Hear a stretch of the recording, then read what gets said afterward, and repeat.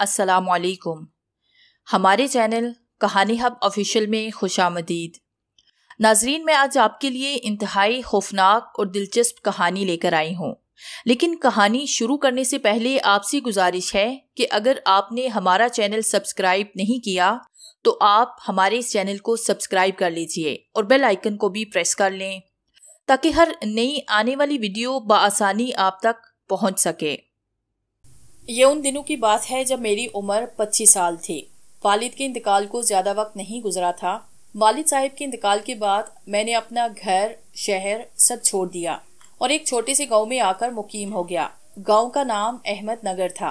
अहमद नगर बड़ा ही खूबसूरत, हसीन और कुदरती नज़ारों से भरपूर था।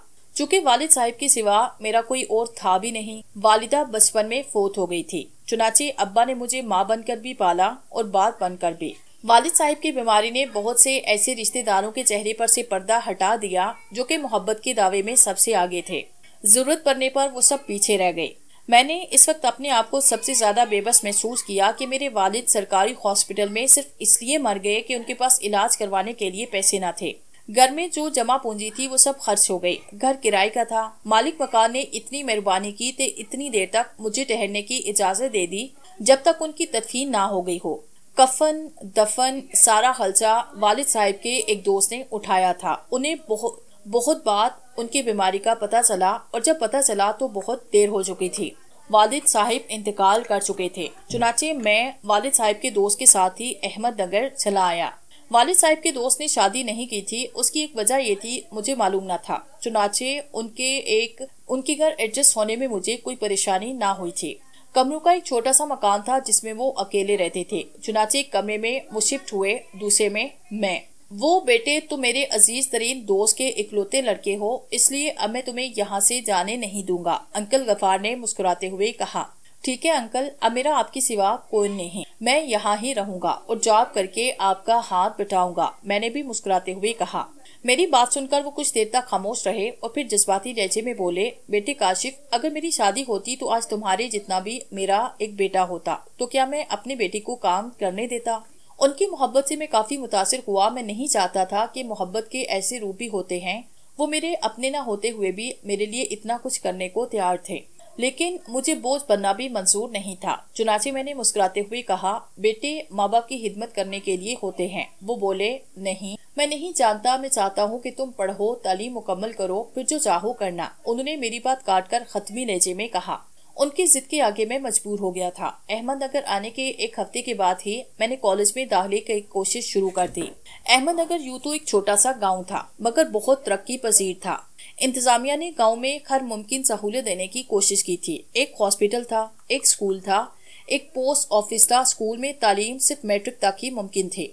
चुनाचे कॉलेज की तालीम के हसूल के लिए दूर जाना पड़ता था। कॉलेज के गाँव से काफ़ी दूर था, चुनाचे मेरा दाखिला कॉलेज में आसानी तो हो गया लेकिन आना जाना एक बहुत बड़ी प्रॉब्लम थी। कॉलेज जाने के लिए मुझे बस स्टॉप तक पैदल जाना पड़ता। बस स्टॉप कार से काफ़ी दूर था। बस स्टॉप तक जाने के दो रास्ते थे। पहला रास्ता तो काफ़ी तवील था। इसमें वक्त ज़्यादा लगता, लेकिन दूसरा रास्ता काफ़ी मुखसिर था, जो कि खेतु से होकर जाता था। चुनाचे में हर दफ़ा खेतु वाले रास्ते से होकर जाता, ताकि मैं जल्दी पहुँच सकूँ। बस दो दिन में दो दफ़ा चलती, एक सुबह और दूसरा शाम में। ये उस रोज की बात है कि मैं हसबे मामूल नाश्ता करके घर से निकला था। अंकल मुझसे पहले ही निकला करते। चुनाचे में अपने ख्यालों में मुस्तरिक आहिस्ता आहिस्ता चलता हुआ आगे बढ़ रहा था। अचानक में चौंक पड़ा। मुझे ऐसे लगा जैसे किसी ने मेरा नाम पुकारा हो। दूसरी बार वो आवाज़ निहायत वाजे थी। वो आवाज़ किसी औरत की थी। इस सनाटे में जहाँ दूर दूर तक सिवाय खेतु के और कोई भी न था। काशिफ, इस बार वो आवाज़ दोबारा मेरे कानों से टकराई। वो आवाज़ सुनकर मेरे पूरे जिसम में सनसनी दौड़ गई। एक अजीब सी बात थी उस आवाज़ में। आवाज़ नहायत खूबसूरत और शीरी थी। मैंने इधर उधर देखा तो कोई नहीं था। खौफ की हल्की सी लहर मुझे अपने अंदर दौड़ती महसूस हुई। कुछ देर के तोकुफ के बाद फिर किसी ने मेरा नाम लिया तो मैंने महसूस किया कि वो आवाज़ सामने वाले बरगद के पेड़ के नीचे से आ रही है। मैं डरते हुए उस पेड़ के पीछे पहुँचा तो वहाँ किसी को न पाकर मैं हैरान रह गया। लेकिन हैरत अंगेज बात ये थी कि वहाँ कोई न था, बल्कि फिजा में नहायत ही मशहूर कुन खुशबू मौजूद थी। अचानक मेरे कानों ने पायल की झंकार सुनी। पायल की आवाज़ सुनकर मैं चौंका। मेरे सहन में बचपन की जिन बूतू और चुड़ैलू की सारी कहानियाँ याद आने लगी। आज कॉलेज मत जाओ, काशिफ। एक नस्वानी आवाज़ मेरे कानों से टकराई। क्यों? मेरे मुँह से अशुद्ध निकला। मैंने कहा, ना, मत जाओ। आवाज़ में इल्तजा दी जाना ज़रूरी है। तो फिर बस से मत जाओ। आवाज़ आई। बस से नहीं तो क्या उड़कर जाऊँ? मैं नागवारी से बोला। अगर उड़कर जा सकते हो तो शौक से, मगर तुम बस से नहीं जाओगे। मैं तो जाऊँगा, मैं तुम्हारी बात क्यों मानूं? मैंने जलाकर जवाब दिया। मेरी बात पर चल लम्हे तक खामोशी रही। फिर एक मशहूर कुन खुशबू मुझे महसूस हुई। उस खुशबू का एहसास नहायत शदीद था। मुझे चक्कर आने लगे थे, मगर मेरी आँखों के सामने अंधेरा छाने लगा। मुझे फिर कोई होश न रहा। जब मुझे होश आया तो रात हो चुकी थी। रात का गुप्त अंधेरा हर तरफ़ फैला हुआ था। चारों तरफ़ सनाटा फिजा में झिंगरों और मेंढकों की आवाज़ें सनाटे में अरत्याश पैदा कर रही थी। मैं उठ बैठा अंकी फाड़ कर चारों तरफ़ देखा तो वहाँ मुझे अंधेरे के सिवा और कुछ भी नज़र नहीं आया। ठंड का एहसास मेरे अंदर सुरायत करता जा रहा था। मेरे लिए खैरत की बात ये थी कि मैं सारा दिन बेहोश पड़ा रहा और किसी को पता नहीं चला। मैं जानता था कि मुझे कॉलेज जाने से रोकने के लिए इस पुर असरार कुत ने मेरे साथ क्या किया था, मगर वो पुर असरार कुत कौन थी? और मुझसे क्या चाहती थी? और मुझे कॉलेज जाने से क्यों रोकना चाहती थी? ये सवाल मेरे सर पर सवार थे। बहरहाल कॉलेज का वक्त निकल चुका था। मुझे काफ़ी देर हो चुकी थी। अंकल परेशान हो रहे होंगे। रात के अंधेरे में खौफ का एहसास मेरे अंदर सुरायत करता जा रहा था। अचानक मैं चौंक पड़ा। बरगद के तने पर मुझे कोई चमकदार चीज़ नज़र आई, जो कि तने से चिमटी हुई होले होले रिंग रही थी। मैंने आगे बढ़कर देखा तो चौंक गया वो एक चमकदार सांप था, जो बिल्कुल रिडीम की तरह चमक रहा था। ऐसा सांप मैंने ज़िंदगी में पहली बार देखा था। उस सांप का कतर किसी भी तरह से पाँच फुट से कम ना था। हैरत खौफ से मेरा बुरा हाल था। अचानक मैंने खैरत के मंजर देखा। मेरी आँखों के सामने उस सांप का कतर छोटा होने लगा। फिर देखते ही देखते वो मेरी नज़रों के सामने से गायब हुआ। मेरे लिए ये मंजर नहायत ही हैरत अंगेज था। और ये कि पुरअसरार कुत ने मुझे बेहोश किया और मुझे नाकाबले यकीन हद तक चमकदार सांप मेरे देखते देखते गायब हो गया था। कॉलेज का वक्त निकल चुका था, चुनाचे में कराहता हुआ उठा, घर की जानब चल पड़ा और जैसे ही मैं घर के नज़दीक पहुँचा, घर के बाहर लोगों की भीड़ नज़र आई। घर के अंदर से किसी के रोने की आवाज़ सुनाई दी, वो आवाज़ें यकीनन अंकल की थी, जो कि रो रहे थे। उनकी आवाज़ें सुनकर मैं परेशान हुआ और तेज से चलता हुआ घर के अंदर दाखिल हुआ। घर का मंजर भी अजीब था। अंकल पिछारे खा रहे थे। तीन से चार लोग उनके सामने खड़े थे, जिनमें एक दो पुलिस वाले भी थे, जो कि उन्हें तसलियाँ दे रहे थे। मुझे समझ में नहीं आ रहा था कि ये क्या है। अंकल क्यों रो रहे हैं? अंकल, मैं चिल्लाया। मेरी आवाज़ सुनकर अंकल समेत दूसरे लोगों ने चौंक कर मेरी तरफ़ देखा। दूसरे ही पल अंकल के चेहरे के तासरात बदलने लगे। मेरा बच्चा वो चिल्लाते हुए मेरे गले लग रहे थे। ऐसे लग रहा था जैसे कि वो मुझे पहली बार देख रहे हों। कुछ देर तक वो मेरे गले से लगकर रोते रहे, फिर आँसू पूछते हुए मुझसे अलग हुए, मेरा बच्चा, अल्लाह का शुक्र है कि तू बच गया, वरना मैं तो उम्मीद खो बैठा था। ये क्या हो रहा है? मुझे कुछ समझ नहीं आ रहा, मैं बोला। मिस्टर काशिफ, इतनी देर तक अब कहाँ थे और आप बच्चे कैसे? एक पुलिस वाले ने मेरे नज़दीक आकर हैरत से मुझसे कहा, क्या मतलब? आप इस, जिस बस में रोज़ाना कॉलेज जाते हैं, वो गहरे खड में गिर गई। सारे लोग जाबहक हो गए। हम काफ़ी देर से तुम्हारी लाश तलाश कर रहे थे। जब तुम ना मिले तो हमारा ख्याल यही था कि कोई जंगली जानवर तुम्हें खा गया। इंस्पेक्टर ने एक ही सांस में जवाब दिया। उसकी बात सुनकर मैं चौंक गया। तो क्या वो पुरअसरार कुत मुझे मौत से बचाना चाहती थी? मुझे अच्छी तरह से याद था कि मैंने उससे जिद की थी कि मैं ज़रूर जाऊँगा। मगर वो बसीद थी कि मैं ना जाऊँ। क्या वो जान गई थी कि बस को हादसा पेश आने वाला है? ऐसा तो कभी नहीं हुआ था कि बस पहाड़ी चढ़ाई चढ़ते हुए खड में जा गिरे। आज मुझे अंदाज़ा हुआ था कि अंकल मुझसे कितना प्यार करते हैं। एक बात तो थी कि उस पुरअसरार कुत ने मेरी जान बचाई थी। उसके बाद अगले दो दिन तक अहमद नगर में ज़िंदगी रुकी रही। उन मरने वालों की याद में उसके बाद कारोबार ज़िंदगी मामूल पर आने लगा। अगले कुछ दिन तक सब कुछ ठीक ठाक चलता रहा। अंकल बाकायदा काम पर जा रहे थे। अंकल अहमद नगर रेलवे में मुलाजिम थे। उनका काम मुसाफिरों की टिकट चेक करना होता था। चुनाचे वो कभी एक स्टेशन, कभी दूसरे। चुनाचे इसी तरह ज़िंदगी का काम काज चल रहा था। मैंने कॉलेज आना जाना शुरू कर दिया, लेकिन बस की बजाय पैदल सफ़र को तरजीह देना शुरू कर दिया। मेरे सहन से आहिस्ता आहिस्ता हर तरह के हालात मैफ होने लगे, फिर एक ऐसा वाक्य पेश आया। ये उस रोज की बात है, मौसम निहायत खुशगवार था। सुबह से ठंडी और फरहत बख्श हवाएँ दिलो दिमाग में निहायत अच्छा तासुर पैदा कर रही थी। मैं खसबे मामूल नाश्ता करके कॉलेज के लिए निकला। बस की उस हादसे की यादें दिल से निकलती जा रही थी। मैं आराम से चलता हुआ, गुनगुनाता हुआ चला जा रहा था। फिर मैं उसी जगह पहुँचा जहाँ इस पुरअसरार आवाज़ ने मेरी जान बचाई थी। मैं आराम से चलता हुआ बर्गर का दरख्त अबूर करके खेतों के दरमियान बने रास्ते का इंतहाब किया। मैं धीरे धीरे चलता हुआ जा रहा था कि अचानक मुझे हल्की सी करा की आवाज़ सुनाई दी। आवाज़ किसी लड़की की थी।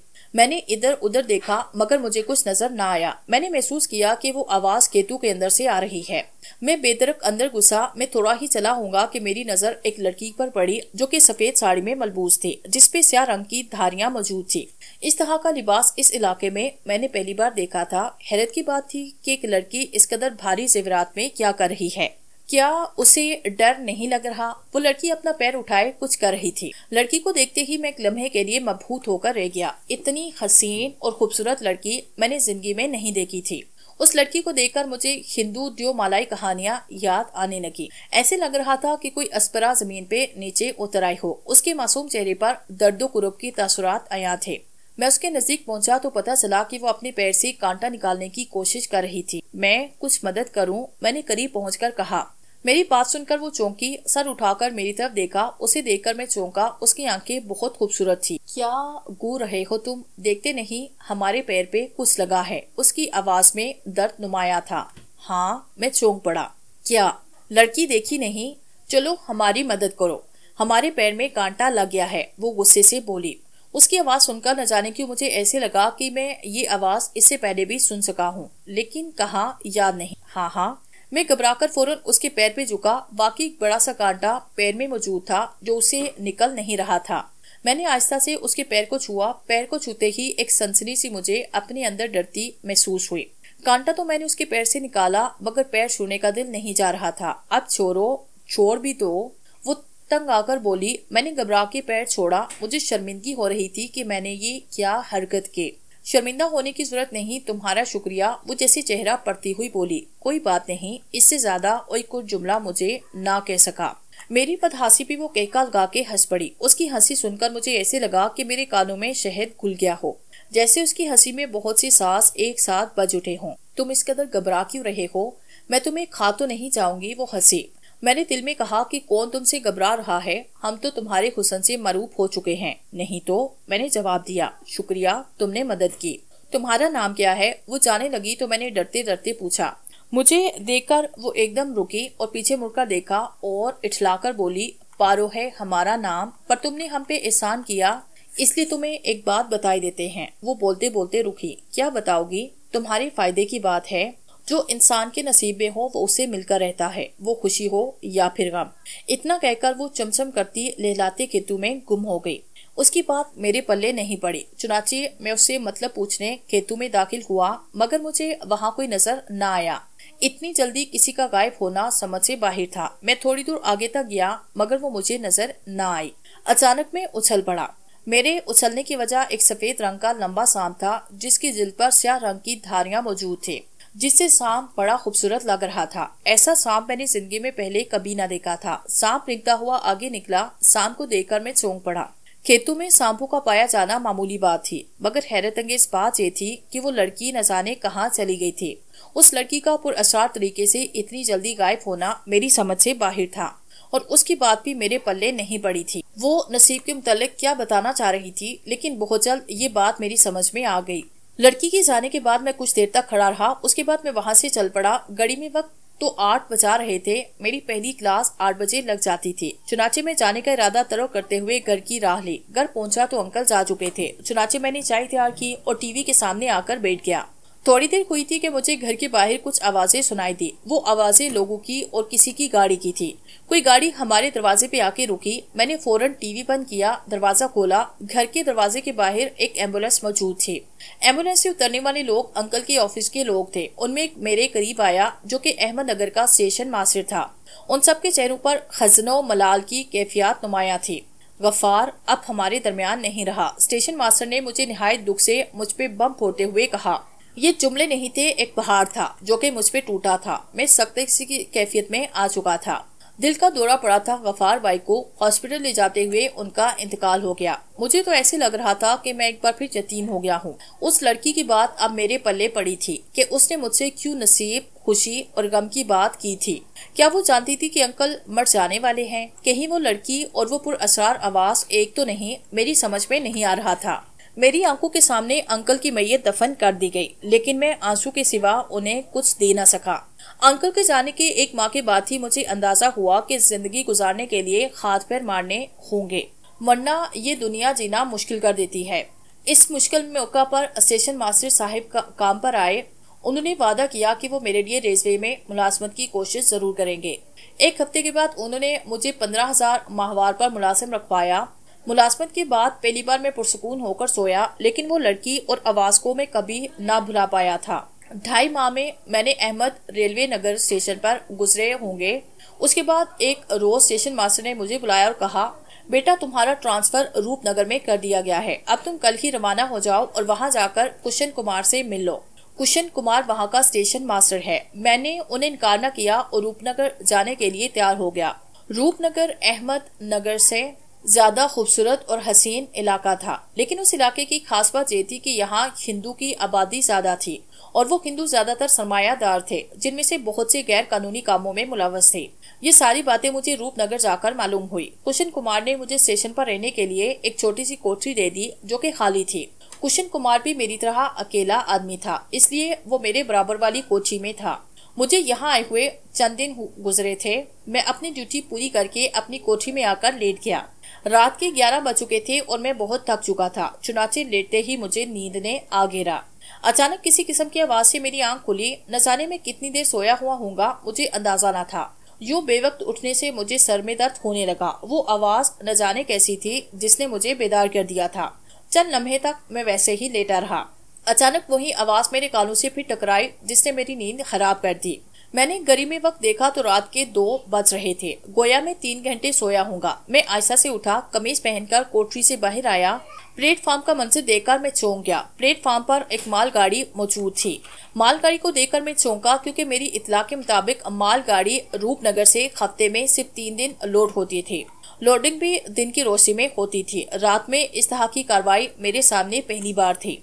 रूपनगर चुके छोटा सा इलाका था, इसलिए प्लेटफॉर्म पर रात के 12 के बाद ही संसान हो जाता था। उसकी वजह उसकी आखिरी ट्रेन थी, जो कि रात 12 बजे रुकती थी। वो भी 10 मिनट के लिए, उसके बाद प्लेटफॉर्म खाली हो जाता था। मैंने देखा कि कुशन कुमार स्टेशन मास्टर भी उसके सामने खड़ा था। दो तीन लोग प्लेटफॉर्म के बाहर से बड़े साइज़ के लकड़ी के कार्टन कंदूबा उठाए, मालगाड़ी में लोड कर रहे हैं। मुझे तो कुछ गड़बड़ महसूस हो रही थी कि इतनी राजदारी से काम करने की क्या वजह थी। अचानक एक आदमी चलते चलते लड़खड़ाया और गिर पड़ा। उसके गिरते ही कॉटन खुला। उस कॉटन से जो चीज़ बाहर आई, उसे देखकर मैं चौंक पड़ा। ऐसा तो सिर्फ़ फ़िल्मों में होता था। उन कॉटन से बाहर आने वाली चीज़, बंदूकें और राइफलें थी। उस आदमी के गिरते ही कुशन कुमार ढारता हुआ उस पर बरस पड़ा। सूर के बच्चे, तेरे बाप, परशु तुमको चल गया कि तूने कार्टन गिरा दिया। तेरी माँ तू मेरी लाश को अग्नि भी ना मिलेगी। काट कर कुत्तू के आगे डाल दूँगा। गलती हो गई, वो आदमी माजिद करते हुए बोला, चल अब सिमट, इसको दोबारा ऐसा मत करना, कुशन कुमार गुस्से से बोला, परशु, तुम का नाम सुनकर मैं चौंक पड़ा। परशोत्तम रूपनगर का जाना माना अमीर आदमी था। मुझे यकीन नहीं था कि इतना बड़ा आदमी वतन फरोश होगा। इस बंदे ने असलहा समेट कर वापिस कॉटन में डाला। अचानक कुशु कुमार पलटा और दूसरे ही पल में वो चौंक पड़ा। क्योंकि उसकी नज़र मुझ पे पड़ चुकी थी। जैसे ही उसकी नज़र मुझ पे पड़ी, घबरा गया। मैंने रुकना, गवारा न किया और वापस अपनी कोठरी में आकर लेट गया। सारी रात मुझे नींद न आई। बस हर लम्हे यही ख्याल सताता रहा कि अभी कुशन कुमार और उसके साथी मुझे आकर पकड़ न ले। सारी रात इसी डर के मारे सो न सका। दूसरी सुबह कुशन कुमार ने मुझे अपने ऑफ़िस में बुलाया। वो कुछ देर तक मुझे घूरता रहा और कहने लगा, तुम बंदे बंदे काम के नज़र आते हो। सोच रहा हूँ तुम्हें मुस्तकिल कर दो। उसके लबों पे मुस्कुराहट थी। जी सर, इससे ज़्यादा मैं कुछ बोलना सहा मेरे जहन में मुश्किल रात वाला वाक्य घूम रहा था। अभी तुम्हारी तनहा कितनी है? सर जी, दस हज़ार। कुशन कुमार मेरी बात सुनकर चौंका और फिर मुस्कुराया, कहने लगा, इतनी तनहा में क्या होता है और इस देश में रेलवे मुलाजमों को मिलता क्या है? शुक्र है कि मैं बहुत सुकून में हूँ और मैं अकेला हूँ और मेरी जरूरियात कम है। ठाकुर पुरुषोत्तम का नाम सुना है तुमने? पुरुषोत्तम का नाम सुन के मैं चौंक गया। मेरा दिल तेज़ी से धड़कने लगा। मैं समझ गया कि वो मुझसे रात वाले वाक़े का तस्करा करेगा। मगर खिलाफ तो वो कहने लगा कि पुरुषोत्तम के पास एक जगह खाली है। बीस हज़ार तनहा मिलेगी और खाना पीना और रिहाइश अलग। मैं समझ गया कि वो मुझे इसलिए पुरुषोत्तम के पास बेच रहा है ताकि मैं कहीं पुलिस को ना बता दूँ। और बीस हज़ार वाकई एक बहुत बड़ी रकम थी, जो मेरे अकेले बंदे के लिए काफ़ी थी। मैं सोच में पड़ गया। ज़्यादा सोचो मत तुम परतुषम के राज से वाकिफ हो चुके हो। जो उसका राज जान लेते हैं तो परशोत्तम या तो उन्हें मार देता है या अपने पास रख लेता है। अपनी ज़िंदगी और मौत का फैसला तुम्हारे एहतियार में है, कुशन कुमार का लेजा सख्त था। उसकी बात सुनकर मेरा दिल धड़कने लगा, क्योंकि जान सबको प्यारी होती है। मैं सोच में पड़ गया था कि मैं क्या करूँ। मुझे सोच में डूबा देकर कुशन कुमार कराया क्या सोच में डूबे हो? जल्दी बताओ क्या करना है? ठीक है। मैं तैयार हूँ, बताओ क्या करना है? मेरे मुँह से रजामंदी सुनकर उसके होंठों पे माने खेस मुस्कुराहट दौड़ गई। वो मुस्कुराहट बिल्कुल ऐसी थी कि बकरी को देखकर कसाई के लबू पर दौड़ जाती है। ये हुई ना बात, वो मुस्कुरा के बोला। मैंने सोच लिया था कि कुछ दिन तुम परशोत्तम के यहाँ रहकर वक्त गुजारो और फिर मौका देकर फरार हो जाऊँ। और ये शहर ही छोड़ दो। चुनाचे कुशन कुमार ने मुझे इस वक्त जाने को कहा। चुनाचे में अपना सामान लेकर वहाँ से निकल आया। पुरुषोत्तम की कोठी स्टेशन से कोई एक मील के फासले पर थी। मैं अपने ख्यालों में मुस्तरिक चला जा रहा था। दिन के दस बजे का वक्त था, लोग अपने अपने कामों पे जा रहे थे। मैं आयसा से चलता जा रहा था। सड़क के दोनों तरफ़ केतु का सिलसिला था, चूँकि रूपनगर जरी हैसियत से मशहूर था। अचानक मुझे एक अजीब किस्म की आवाज़ सुनाई दी। वो आवाज़ कैसी थी? मैं आज तक समझ ना पाया। मैं आवाज़ को इग्नोर करके आगे बढ़ने ही लगा था कि मुझे पायल की आवाज़ सुनाई दी, जैसे कोई औरत छमछम करती जा रही हो। अचानक मेरे दिल में उस पायल की आवाज़ सुनकर उस लड़की को देखने का इश्तियाक पैदा होने लगा। ये अद्भुत हुआ था, वरना मैं लड़कियों के मामले में बहुत पाक दामन हूँ। न ही आज तक किसी तरह पूरी नज़र से देखा, न ही ऐसा कोई इरादा था। मैं खड़ा सोचता रहा कि मैं क्या करूँ। अचानक मैंने देखा कि खेतू से कोई बाहर आ रहा है, साथ ही पायल की आवाज़ भी आ रही है। आने वाली एक लड़की थी। जैसे ही वो मेरी करीब आई तो ये देखकर मैं उछल पड़ा। ये वही लड़की थी जो मुझे खेतों में मिली थी, जिसके पैर से मैंने कांटा निकाला था। इस बार भी वो सफ़ेद रंग के लिबास में जेब दन थी, जिसपे सफ़ेद धारियाँ थी। सुनो, मेरी तरफ़ देखकर बोली, जी, उसे देखकर न जाने मैं क्यों बुकला गया? शायद ये हुसन का रोप था।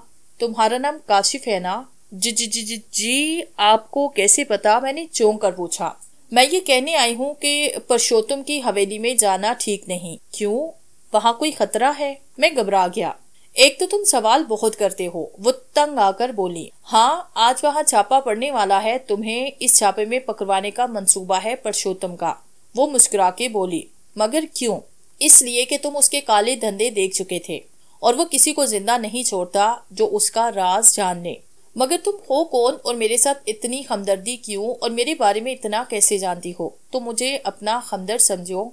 वो दाएँ बाएँ देखती बोली, अभी मुझे जल्दी है, अगर मुझसे मिलना चाहो तो आज रात बारह बजे नरचन लाल की हवेली में आकर मिल सकते हो। इतना जान लो कि पहली बार मैं तुम्हें बस में चढ़ने में मैंने रोका था। इतना कहकर वो जाने ही लगी थी कि मैंने उसे रोका। एक बात और, मैंने उसकी तरफ़ देखते हुए कहा, कहो, वो मेरी तरफ़ मुड़कर बोली। मैं अगर इधर नहीं गया तो कुशन कुमार नाराज़ होगा। मेरी बात पर वो मुस्कुराई और कुछ देर के बाद बोली, कुशन कुमार कुछ नहीं कर सकता और ना ही करने की काबिल रहेगा।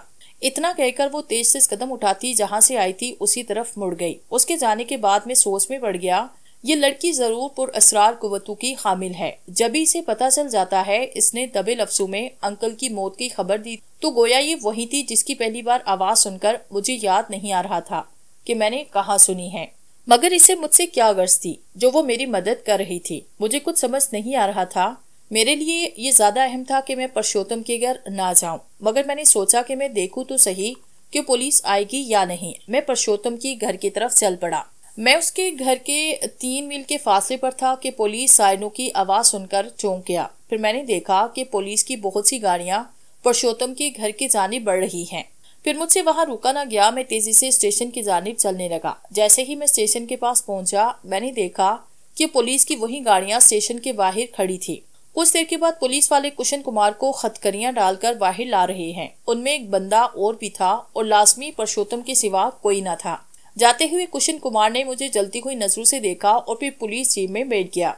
जैसे ही वो पुलिस जीप में बैठे, मेरा दिल दिमाग चीख चीख कर इस बात की गवाही दे रहा था कि कुशर कुमार की गिरफ्तारी में ज़रूर उस लड़की का हाथ शामिल है।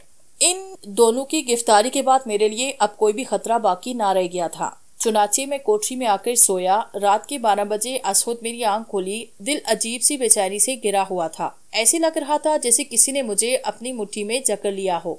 मेरे दिल में वसवसे पैदा हो रहे थे, जैसे कोई कह रहा हो कि मुझे निरंजन लाल की हवेली की तरफ़ जाना चाहिए। मुझे ये भी मालूम था कि निरंजन लाल की हवेली है किस तरफ़। अचानक मुझे ऐसे लगा कि जैसे कोई मुझे कह रहा हो कि तुम फ़िक्र ना करो, बाहर निकलो, तुम खुद ब खुद हवेली पहुँच जाओगे। मैं कपड़े बदलकर बाहर निकल आया, सड़क पे गहरा सन्नाटा तारी था। बाहर आते ही मुझे सर्दी का एहसास सताने लगा। हालाँकि मैंने शर्ट के ऊपर जैकेट पहन रखी, लेकिन फिर भी सर्दी महसूस हो रही थी। बाहर आते ही मुझे ऐसे लगा कि जैसे कोई कह रहा हो, मैं कब्रिस्तान वाला रास्ता पकड़ूं। कब्रिस्तान वाला रास्ता पकड़ते ही मुझे ऐसे लगा जैसे कोई मेरी रहनुमाई कर रहा हो। जैसे ही मैंने कब्रिस्तान को अबूर किया, सामने एक कच्ची सड़क थी। मैं उस सड़क पे चलता गया। जैसे ही मैंने सड़क अबूर की, सामने एक तवील सा मैदान था और हवेली उस मैदान के अंदर मौजूद थी। मैं मैदान के अंदर चला गया। वो हवेली खासी पुरानी थी। उसका रंगो रोगन जगह जगह से उखड़ चुका था। उसकी तर्जो तमीर बहुत ही पुरानी थी। जैसे मुगलों के दौर की हवेली हो, जमाने के सारे मौसमों का असर उस हवेली के बैरूनी हिस्से पर हुआ था। उस हवेली के सामने का फाटक टूटकर आधा ज़मीन के अंदर था और आधा बाहर झूल रहा था। मैं फाटी के बाद कड़ा सो रहा था कि अंदर जाऊँ या नहीं। अचानक एक खूबसूरत सी आवाज़ मेरे कानों से टकराई। ये आवाज़ उसी लड़की की थी। आवाज़ सुन के मुझे ऐसे लगा कि जैसे किसी ने विराने में दिल सो सास छेड़ दिया हो। काशिफ, अंदर चले आओ। वो आवाज़ मुझे वीराने से सुनाई दी। मैंने बगैर सोचे समझे फाटक के अंदर कदम रखा और जैसे कि मैंने फाटक से गुजरकर अंदरूनी हॉल में कदम रखा, अंदर का मंजर देखकर मेरी आँखें चकाचौंध हो गई। अंदर का मंजर बैरूनी मंदिर से बेहद मुख्तलिफ़ था। अंदरूनी खाल की सजावट बहुत ज़्यादा शाहाना तरीके से की गई थी। पैसे का बेदरेक इस्तेमाल मुझे यहाँ नज़र आया था। हॉल की हर चीज़ निहायत कीमती और पुरताइश थी। मैं इधर उधर देखने लगा, मगर वो मुझे नज़र न आई। काशिफ मुझे अपने उकब से आवाज़ सुनाई दी, मैं चौंक कर पलटा तो मेरे सामने खड़ी थी। उसे देखकर मेरी रीढ़ की हड्डी में सनसनाहट दौड़ गई और मेरी नज़रें असहुद जुट गई। उसने सुख रंग की रेशमी साड़ी बाँध रखी थी, जिसका ब्लाउज बहुत तंग था। उसे देखकर ऐसे लग रहा था जैसे कि कुंदुंती बिजलियाँ ब्लाउज से बाहर आने के लिए बेताब हों। वाकई वो कुदरत के बनाए सांचे में ढली थी। मैं एक बार फिर उसके शहर में डूबा। हुसन तो बहुत देखा था कि जिसके लिए बंदा अपनी जान दे सकता था। लेकिन पारो का सुलगता हुसन ऐसा था कि जिसके लिए बंदा जान दे भी सकता था और जान ले भी सकता था। वो मेरी पुरशोक निगाहों से देख रही थी। मुझे यकीन था कि तुम ज़रूर आओगे। मैं इस वक्त आपका शुक्रिया अदा करने आया हूँ। आपने मुझे एक बहुत बड़े खतरे से बचाया। मैंने अपने हाथ पे काबू पाते हुए कहा। मेरी बात सुनकर वो मुस्कुराई। उसकी मुस्कुराहट देकर मुझे ऐसे लगा कि सारे जहाँ का हुसन उसके चेहरे पे सिमट आया हो। मैं तो बस उसके शहर में खोया रहा। जैसे हर चीज़ से बेगाना होकर मैं उसे देखता रहा। अचानक उसकी आवाज़ पर मैं होशो खास में वापस आया। वो कह रही थी, आपका दर्द हमारा दर्द है। परशोत्तम और कुशन कुमार की क्या मजाल? अगर उन्होंने तुम्हें दोबारा तंग किया तो मारे जाएँगे। वो गजब नाक होकर बोली, क्या मतलब? मैं चौंक पड़ा। क्या मतलब? मैं चौंक पड़ा। इतनी भी जल्दी क्या है? हर मतलब का जान लोगे? वो मुस्कुरा के बोली, तुम कौन हो? वक्त का इंतज़ार करो। वक्त आने पे सब जान जाओगे। उसके खूबसूरत लबू पर मुस्कुराहट थी। तुम्हारे माँ बाप कहाँ हैं? मैंने उससे पूछा। मेरी बात सुनकर वो कुछ देर तक खामोश रही, फिर उसके लबू पे एक उदासी मुस्कुराहट दौड़ गई। मेरा इस दुनिया में कोई नहीं, मैं इस हवेली में बिल्कुल अकेली रहती हूँ। अब तुम आ गई हो ना, मेरी तन्हाई और अकेलापन सब दूर हो जाएगा। उसकी बात सुनकर मेरे दिल में मिठाई की एक पूरी दुकान खिल गई। मेरे दिल में खुशी के शादियाने बज उठे। एक निहायत खूबसूरत लड़की मेरे साथ वक्त गुजार कर अपना अकेलापन खत्म करना चाहती है। मैंने अपनी खुशी का इजहार इसलिए नहीं किया, उसने आगे बढ़कर मेरा हाथ पकड़ा। जैसे ही उसने मेरा हाथ पकड़ा, मेरे पूरे जिसम में एक खुमार सा दौड़ गया। हाथ पकड़कर उसने मुझे सोफे पे बिठाया और खुद मेरे बराबर में बैठ गई। इतनी पास कि उसके जिसम से निकलने वाली खुशबू भी मुझे महसूस होने लगी। कुछ खाओगे? वो मुस्कुराकर बोली। नहीं। उसे इतना पास देकर मेरा लहजा अटकने लगा। कुछ पिए हुए? नहीं, बस तुमसे बातें करना चाहता हूँ। मैंने बदसूर उसी लहजे में जवाब दिया। तो अपनी बातें करो ना, वो इछला के बोली। मैं बहुत जल्द ही उससे बेतकल्लिफ हो गया। उसे अपने बारे में सब कुछ बताया। मेरी रुदास सुनकर उसके चेहरे पर मेरे लिए हमदर्दी नज़र आने लगी। रात गुजरती गई पल पल गुजरती रात हसीन होती चली गई। मुझे ऐसे लग रहा था जैसे कि चढ़े हुए समंदर में तैराकी कर रहा हो। समंदर और गजबनाक होता जा रहा हो। रात तीन चौथाई गुजर गई तो मैं मजबूरन उठ खड़ा हुआ। वो मुझे दरवाजे तक रुखसत करने आई। कल आओगे ना? उसकी आवाज़ में खुमार मौजूद था। ज़रूर। अब तो ज़िंदगी मुहाल है तुम्हारे बगैर, मैंने उसकी जानब वारफगदी से देखते हुए कहा। मैं इंतज़ार करूँगी, लेकिन बारह बजे से पहले मत आना, वो मुस्कुरा के बोली। बाकी रात मैंने अपनी कोठरी में आकर आँखों ही आँखों में काटी, दूसरी सुबह मेरा किसी काम में दिल नहीं लग रहा था, बस उसी की याद आ रही थी। हर जगह मुझे वही नज़र आ रही थी। जैसे ही रात हुई, मेरी बेकरारी बढ़ गई और मैं फिर हवेली जा पहुँचा। आज की रात वो मुझ पर ज़रूरत से ज़्यादा मेहरबान थी। वो मुझे खाने की मेज पर ले गई, जहाँ मुख्तलि किस्म की नेमतें मौजूद थी। मैंने पेट भर के खाया, लेकिन उसने खाने से इनकार किया। मैं सिर्फ़ दूध पीती हूँ। क्यों? दूध ही क्यों? मैंने हैरत से पूछा। मेरे सवाल पर वो एक लम्हे के लिए घबराए, दूसरे ही पल वो मुस्कुरा गई। ये सब खाऊँगी तो मोटी ना हो जाऊँगी? उसका लेजा शोक था। न जाने मुझे ऐसा क्यों लगा कि उसकी आवाज़ उसके चेहरे का साथ नहीं दे रही? चेहरे पे घबराहट साफ़ ज़ाहिर थी। उसकी बात पर मैंने खामोशी इख्तियार कर दी। मैं कुछ नहीं खा रही, इसलिए तुम खामोश हो गए। वो लगावट से मेरा हाथ पकड़ के बोली, नहीं नहीं, ऐसी बात नहीं। फिर वो इठला के बोली, और मेरे नज़दीक आई और इस कदर पास आई कि उसके जिसम से उठने वाली परफ्यूम की महक मुझे महसूस होने लगी। अचानक उसने अपनी मरमरी बाहें मेरी गर्दन में डाली और मुस्कुराकर बोली, जानो क्या तुम मुझे अपने हाथों से दूध नहीं पिलाओगे? वो मुझे नहायत ही खुमार आलूद निगाहों से गुड़ती हुई बोली। मैं भी उसके हुसन की गर्मी से बेबस हो गया था और झट से दूध का गिलास उठाकर उसके होंठों से लगाया। उसने एक ही सांस में सारा दूध पिया और दूध पीने के बाद बोली, काशिफ, मैं तुमसे बेहद प्यार करने लगी हूँ। काश हम दोनों एक हो सकते। उसकी आवाज़ में एक अजीब सा दर्द था। उसकी आवाज़ में छुपा दर्द महसूस करके मैं बेचैन हो गया। मेरी उससे मुलाकात ज़्यादा पुरानी न थी, मगर मुझे ऐसे लग रहा था कि मैं बरसों से उसे जानता हूँ। मेरी उससे शनासाई सर्दियों की है। उसकी गुदास बाहें बदसूर मेरी गर्दन में थी और आँखें मुझ पर थी। हाँ मुझे पाने के लिए तुम्हें अमीर बनना होगा, वो संजीदगी से बोली। उसकी बात सुनकर मेरे सारे मानों पर ओस पड़ गई। मुझे मायूस देखकर वो मुस्कुराई और बोली, मायूस मत हो, मैं तुमसे बहुत प्यार करती हूँ। एक तरीका है जिससे तुम अमीर बन सकते हो। फिर हम एक हो सकते हैं। वो मेरे बालों को सहलाती हुई बोली, कौन सा ऐसा तरीका है जिसे इख्तियार करके मैं दौलत कमा सकता हूँ? नहीं, छोड़ो, इसमें जान का खतरा है। उसके लहजे में तशवीश थी। तुम्हें पाने के लिए मैं कोई भी खतरा उठा सकता हूँ। मैंने उसकी आँखों में देखते हुए कहा, सच? उसकी आँखों में दीप जल उठे थे। हाँ मैं भी मुस्कुराया। तुम मुझसे कितना प्यार करते हो? इतना कहकर वो मुझसे निपट गई। बताओ, क्या तरीका है? मैंने उसे खुद से अलग करते हुए पूछा, आज नहीं, कल, मगर तुम एक वादा करो। तुम ये राज किसी से नहीं कहोगे। वो मुस्कुराई, मैं वादा करता हूँ, लेकिन अभी बता दो ना। नहीं, अभी नहीं, कल। कल पूर्णमासी की रात है और नाग देवता अपने चाहने वालों को दर्शन देते हैं। क्या तुम नाग पुजारन हो? मेरी बात सुनकर वो उसे बिल्कुल ही नजरअंदाज करती हुई बोली, क्या तुम इन बातों में वक्त जाया करते रहोगे? देखो, रात गुजरती जा रही है। उसका लहजा अजीब था। उसका मफहूम समझकर मैंने कोई बात न की। उसका मरमरी हाथ थाम कर उठ खड़ा हुआ। रात के तीसरे पहर न चाहते हुए भी मैंने उसे अलविदा कहा और हवेली से बाहर निकल आया। मैं नहीं जानता था कि कोठरी में एक और आफत मेरी मुंतजिर है। जैसे ही मैं कोठरी में पहुँचा तो ये देखकर हैरान रह गया कि कोठरी में कुशन कुमार और पुरुषोत्तम दोनों मौजूद हैं। उनके साथ तीन लोग और भी थे जो कि लाजमी तौर पर उसके गुर्गे ही थे। हम कब से तुम्हारा इंतज़ार कर रहे थे कि तुम कब आओगे, तब आओगे, बबुआ, पुरुषोत्तम मुस्कुरा के बोला। पुरुषोत्तम और कुशन कुमार को देखकर एक लम्हे के लिए मैं घबराया। फिर मेरे चेहरे पर हैरत दर आई मेरे लिए ये निहायत ताजुब की बात थी कि ये दोनों छोटे कैसे। मेरे चेहरे पर हैरत देकर पुरुषोत्तम बोला, परेशान मत हो बबुआ, पुलिस तो हमारी यार है। बस कुछ पैसे खर्च करने पड़े और फिर हम बाहर। उसके लबू पे मुस्कुराहट थी। पुरुषोत्तम जी, उसे मारकर उसी जगह गाड़ देते हैं, ताकि फिर कोई हमारे खिलाफ सर न उठा सके। कुशन कुमार ने कहा, बात तो ठीक है। वैसे भी ये हमारा राज जान चुका है। इसी ने पुलिस में मुखबरी की है। पुरुषोत्तम ने मुस्कुरा के कहा, मैंने कोई मुखबरी नहीं की पुरुषोत्तम झूठ बोलता है ये।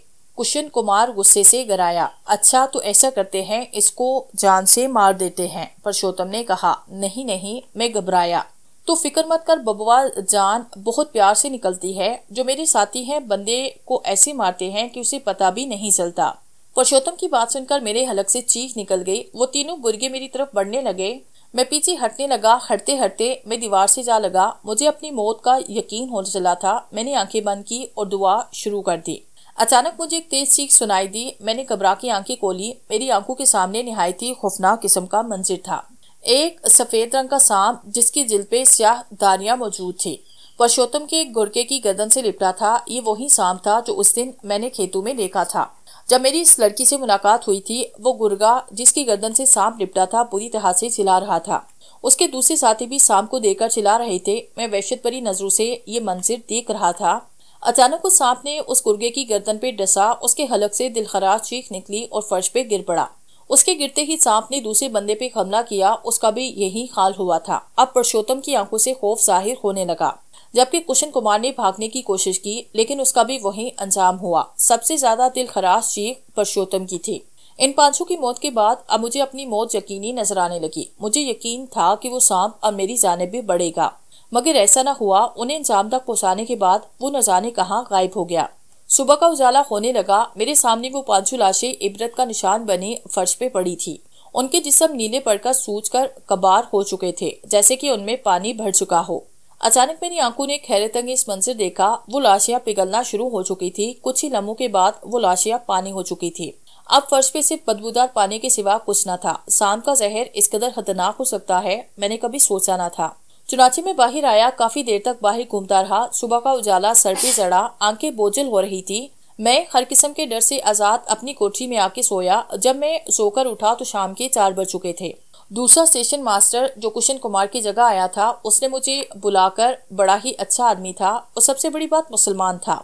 सलाम के बाद उसने मुझे दोबारा ड्यूटी पे हाजिर होने का कहा। मैंने उससे एक दो दिन की मोहलत मान दी जब उसने बहुशी दे दी, मुझे तो ना नौकरी से कोई इंटरेस्ट था, ना ही इस जगह से। मेरे दिल में तो वही समाई थी, जो मुझे अमीर होने का तरीका बताने वाली थी। रात होते ही मैं उसके पास पहुँचा हसबे मामूल वो गजब ढा रही थी। सफ़ेद रंग की साड़ी जेबतम कर रखी थी, जिसमें वो खूबसूरत लग रही थी।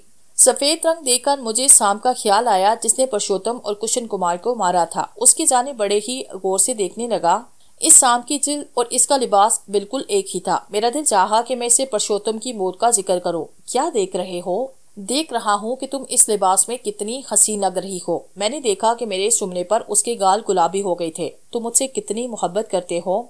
एक बात बताऊँ, मैं जानती हूँ तुम परशोत्तम और कुशन कुमार की मौत के बारे में बात करना चाहते हो। हाँ लेकिन तुम्हें कैसे पुथा है छोरो, उनकी मौत को तो वो तुमको मारना चाहते थे, वो खुद ही मर गए।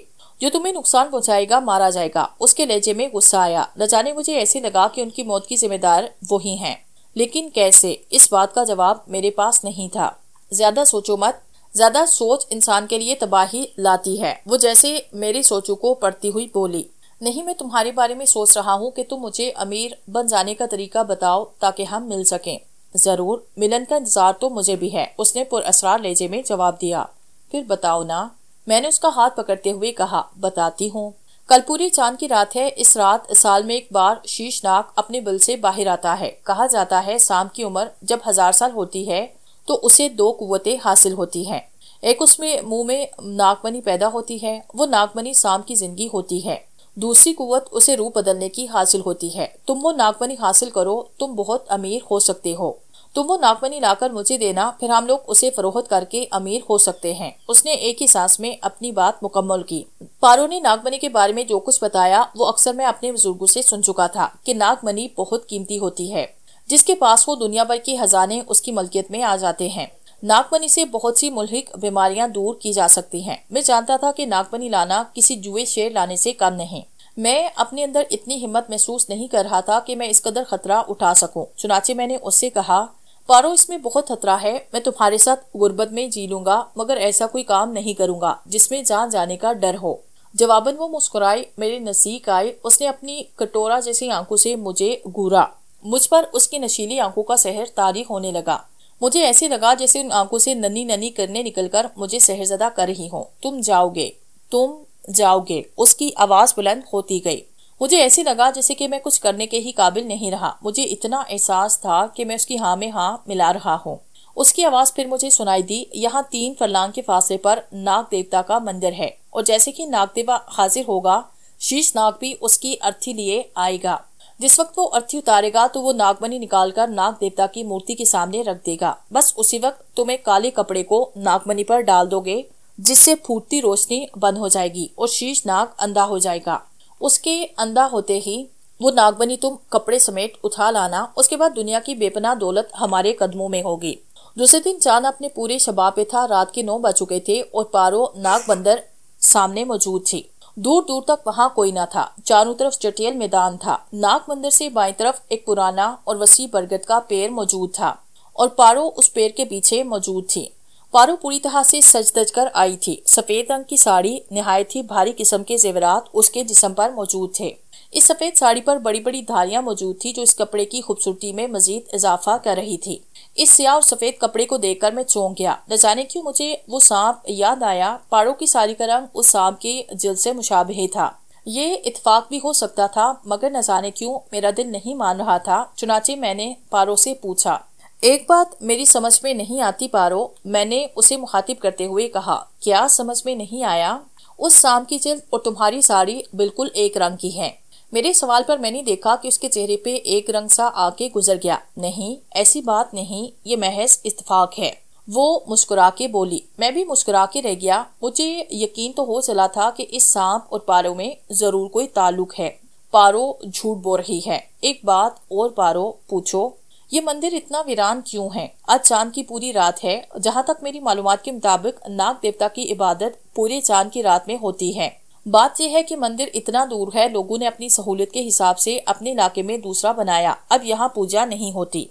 पारो का लेजा अब खोखला, साफ़ लग रहा था। मैंने कोई जवाब न दिया, खामोश रहा।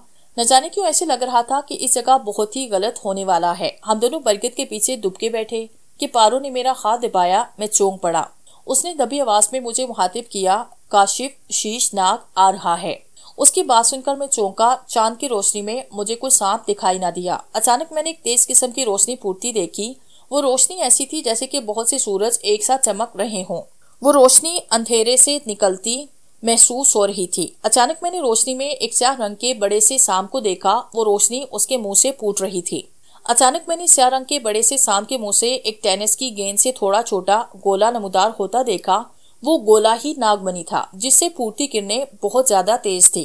पारू के चेहरे पर मैंने अजीब से तासुरात देखे, जिन्हें मैं कोई नाम नहीं देख सकता था। वो छोटा सा चमकदार गोला, जिसे वो शाम खेल रहा था, बड़ा ही खूबसूरत था। अचानक मैंने बहुत सी फंकारों की आवाज़ सुनी, वो आवाज़ें तादाद में बहुत ज़्यादा थी। दूसरे ही पल मेरी आँखें फैल गई। पूरा मैदान सांपों से पटा बड़ा था। हर जगह सांप ही सांप थे। इतने सांप मैंने ज़िंदगी में कभी ना देखे थे। अचानक मैं उछल पड़ा, बहुत से मुझे अपने पैरों के पास सींगते महसूस हुए। नागमणि की रोशनी में मैंने देखा कि वो सारे नाग उस नागमणि के सामने सजदा रेज थे। पारो, मैंने कामती आवाज़ में कहा, लेकिन कोई जवाब न आया, मैं चौंक पड़ा, क्योंकि वहाँ पारो न थी। सारा मैदान बरगद का दरख्त सांपों से पटा हुआ था। डरो मत, ये शाम तुम्हें कुछ नहीं करेंगे। पारो की सरगोशी मुझे सुनाई दी। तुम कहाँ हो पारो? मुझे डर लग रहा है। मैं तुम्हारे करीब हूँ, लेकिन मजबूरी है सामने नहीं आ सकती। क्या मजबूरी है? बस बता नहीं सकती, लेकिन इतना ज़रूर बताऊँ कि इस मंदिर में कोई आम इंसान पूजा नहीं कर सकता। ये सांपू के लिए महसूस है, इसलिए तुम्हें यहाँ कोई दिखाई नहीं दिया। अब आगे बढ़ो, तुम्हारी जेब में नाग मोहरा है। उसे मुँह में रखो, किसी को नज़र नहीं आओगे, पारो ने कहा। मैंने जेब में हाथ डाला तो वहाँ वाकई नाग मोहरा मौजूद था। नाग मोहरा निकालकर मैंने मुँह में रखा। मुँह में रखते ही मुझे अपना वज़न हल्का होता महसूस हुआ। आगे बढ़ने में मुझे डर लग रहा था, ऐसे लग रहा था जैसे कि मैं आगे बढ़ूँगा और वो सांप मुझे काट लेंगे। मैं हिचकिचाहट का शिकार था। अचानक मैंने देखा कि नागमणि से खेलने वाले सांप ने इंसानी रूप इख्तियार किया। वो एक गंदमी रंग का नौजवान था, जो इंसानी रूप में ज़ाहिर हुआ था। करीबन छह फुट का ये नौजवान धोती और कुर्ते में मलबूस था। बाजू पे उसने तावीज बाँध रखा था और सर पे एक पगड़ी थी। सबसे बड़ी बात उसकी आँखों में अजीब सी कशिश थी। उसने नागमणि उठाकर जेब में रखी। नागमनी जेब में रखने के बाद वो नौजवान ऐसा ऐसा चलता हुआ मंदिर के अंदर दाखिल हुआ। मैं उसी जगह खड़ा था। अचानक मेरे कानों में पारो की सरगोशी की आवाज़ फिर सुनाई दी। खड़े क्या हो, काशिफ, वक्त निकल गया तो ये वक्त दोबारा पचास साल के बाद आएगा। जल्दी जाओ। चुनाचे पारो के हौसला दिलाने पर मैं डरता हुआ नाग मंदिर के अंदर दाखिल हुआ। काला कपड़ा मेरे हाथ में था। मैं तेज तेज चलता हुआ नाग मंदिर के अंदर दाखिल हुआ। जब शीशनाग अंधा हो जाएगा तो तुम्हारी जेब में एक खंजर है, जो अजीम मंत्रों से सिद्ध किया गया है। उस खंजर से अंधे नाग की गर्दन काट देना। पारो की आवाज़ मुझे दोबारा सुनाई दी। उसकी बात सुनकर मैं घबराया। मैंने तशवीजदा रैचे से कहा, तुमने ये तो नहीं कहा था पारो, मुझसे ये नहीं होगा। तुम्हें करना होगा, वरना हम एक कैसे होंगे? पारो की आवाज़ सुनाई दी। मगर अगर मगर नहीं करना होगा, पारो की आवाज़ में हुक्म धराया मरता ज्ञाना करता मैं मंदिर के अंदर दाखिल हुआ। मंदिर का अंदरूनी माहौल जहाँ बारह सुरों वाली नागमूर्ति मौजूद थी, बड़ा ही पुरसरार था। चारों तरफ़ बखूर दानों में अगरबत्तियाँ सुलग रही थी, जिनके धुएँ से निकलती खुशबू माहौल को पुरअसरार कर रही थी। सारे सांप मंदिर के अंदर मौजूद थे, जबकि नाग मंदिर में मूर्ति के सामने शीश नाग अकेला मौजूद था दूसरे सारे पुजारी नाग मंदिर के बाहर मौजूद थे मूर्ति के सामने शीश नाग चंद लम्हे तक खड़ा रहा और फिर सजदे में गिर गया निहायत अकीदत से बोला, नाग देवता, तेरा ये पुजारी तेरे सामने हाजिर है अपने पुजारी की मदद कर ताकि मैं सदा नागों पे हुकूमत कर सकूँ। ये अजीब मन का, तेरी मुझ पे मेहरबानी की दलील है, ताकि मैं हुकूमत कर सकूँ। उसकी इस अकीकत को देखकर अंदर ही अंदर से काम किया, क्योंकि इबादत और अकीकत का हकदार सिर्फ़ और सिर्फ़ अल्लाह के सिवा कोई नहीं। अचानक उसने नागमणि को अपने कुर्ते की जेब से निकाला, बुद्ध के सामने डाला, बुद्ध के सामने नागमणि आबोताब से चमकने लगा। मैं उसी लम्हे आगे बढ़कर उस स्याह कपड़े को उस नागमणि पे डाल दिया, उसकी सारी रोशनी उस कपड़े के अंदर ढक गई। कपड़ा डालते ही उस नौजवान नाक के हलक से चीख निकली। दोनों आँखों पे हाथ रखकर चिल्लाने लगा और चिल्लाते चिल्लाते वो उसका सर बुद्ध के घुटने से टकराया। उसके सर से खून जारी हो गया। अचानक मेरी कानू ने पारों की सरगोशी सुनी, जल्दी करो। वक्त कम है, ये ज़्यादा देर अंधा नहीं रह सकता। मगर जल्दी करो। मैंने कहा ना तुम्हें? पारो की गराहट से मुशाबे आवाज़ कानों से टकराई। मैंने जेब से हंजर निकालकर आगे बढ़कर उसकी गर्दन पे फेर दिया। उसकी चीख किसी अस्तह की फंकार से मुशाबे थी। वो चीख इस कदर खौफनाक थी कि मैं हिल गया। मेरी कपकपी छूट गई। वो ज़मीन पर गिरकर तड़पने लगा। उसी पल पारो न जाने कहाँ से ज़ाहिर हुई और फ़ौरन ही नागमणि को उठाया और मुँह में डाल दिया और नाग देवता के बुद्ध के सामने सजदा रेस हो गई। मैं खैरत और खौफ से इस मंजर को देख रहा था। उसी पल वो सजदे से उठी और बोली ए नाग देवता इस नाग की मौत के बाद अब मैं मलका हूँ। नाग, मलका, शीश, नागिन। ये नागमणि मेरा है, मुझे आशीर्वाद दें। उसी लम्हे वो औरत से नागिन के रूप में बदली। अब मेरे सामने वो सफ़ेद धारीदार शाम था जिससे मेरी जान बचाई थी। वो सफ़ेद शाम इस मुर्दा नाग की जाने पड़ने लगा, जो कि अब नाग के रूप में मुर्दा पड़ा था। मेरी खलक से चीख निकली, बेहोश होने से कबल मैंने सिर्फ़ इतना देखा कि सफ़ेद सांप ने उस मुर्दा नाग को खाना शुरू कर दिया था। होश आया तो पहला एहसास मेरे अंदर ज़िंदा होने का था। मैंने अपने आप को अपनी कोठरी में पाया और मेरा पूरा जिसम दर्द से दुख रहा था। मैं यहाँ कैसे आया मुझे नहीं पता। पारो ने मुझे इतना बड़ा धोखा दिया कि अपने फ़ायदे के लिए उसने मुझे इस्तेमाल किया। मुझे पता नहीं था कि वो एक नागन है। अगर पता होता तो उसके करीब ना जाता। अचानक में चौंक पड़ा। मैंने अपने सरहाने के पास एक चमकदार मुनक्किश डब्बे को पाया, जिसका साइज़ छोटे जुड़ी के डिब्बे के जितना था। मैंने आगे बढ़ के उस डिब्बे को खोला। डिब्बा खोलते ही मेरी आँखें हैरा हो गई। उस डिब्बे में मुर्गी के अंडे के बराबर एक खीरा मौजूद था, जो कि बहुत चमकदार था और एक लिफाफा मौजूद था। मैंने आगे बढ़कर उस लिफाफे को खोला। उस लिफाफे से निकलती खुशबू जाने पहचानी थी। वो पारू की सिवा किसी और की हो नहीं सकती थी। उसमें से एक खत प्राप्त हुआ। मैंने उसे पढ़ना शुरू किया। मैं जानती हूँ मैंने तुम्हें धोखा दिया, लेकिन मेरी नीयत ऐसी नहीं थी। शीर्षनाग मेरा दुश्मन था, मेरे बाप को इसी तरह मारकर नागों का राजा बना। बिल्कुल इसी तरह जिस तरह तुमने उसे मारा। इसलिए मैंने उसे बदला लिया, लेकिन ये किसी इंसान के बगैर मुमकिन न था। इसलिए मेरी नज़र तुम पे पड़ी। जब तुम खेतों से होते हुए कॉलेज आ रहे थे, मैंने तुम्हारी जान बचाई और कुशन कुमार और पुरुषोत्तम को मैंने ही मारा, ताकि वो तुम्हें कुछ कर ना सके। अगर वो तुम्हें मार देते तो मेरा मकसद अधूरा रह जाता। यकीन मानो, मैंने ज़िंदगी में कभी किसी से मोहब्बत की है तो वो सिर्फ़ तुम हो। सिर्फ़ तुम, तुम्हारे साथ गुजारा वक्त मैं कभी भूलूँगी नहीं। मगर मैं तुम्हें अपना नहीं बना सकती, क्योंकि मैं तुम्हें मरता देख नहीं सकती, क्योंकि मेरा जहर तुम्हारी रगों में दाखिल हो जाएगा। ये खीरा तुम्हारी ज़िंदगी बदल देगा। ये धोखे की कीमत नहीं, एक तोहफा है मेरी तरफ़ से। तुम जब किसी मुसीबत में होगे तो पारो ज़रूर आएगी। अलविदा। खत खत्म हो चुका था, पारो जा चुकी थी। मुझे जादू की आग में चलने के लिए छोड़कर उसकी मोहब्बत में मुझे मौत भी कबूल थी, लेकिन जुदाई नहीं। इस वाक़े के चंद दिन के बाद मैं उसकी तलाश में नरेंजन लाल की हवेली तक गया, लेकिन वहाँ धूल मट्टी के सिवा कुछ न था। इस शहर से उसकी यादें वाबस्ता थी, इसलिए मैंने शहर छोड़ा और खेरा फरोख्त कर दिया। इससे जो रकम हासिल हुई, वो रकम मेरी सोचू से भी ज़्यादा थी। आज मैं मुल्क का अमीर तरीन आदमी हूँ, लेकिन मैं अपने आप को गरीब मानता हूँ, क्योंकि पारो मेरे साथ नहीं थी।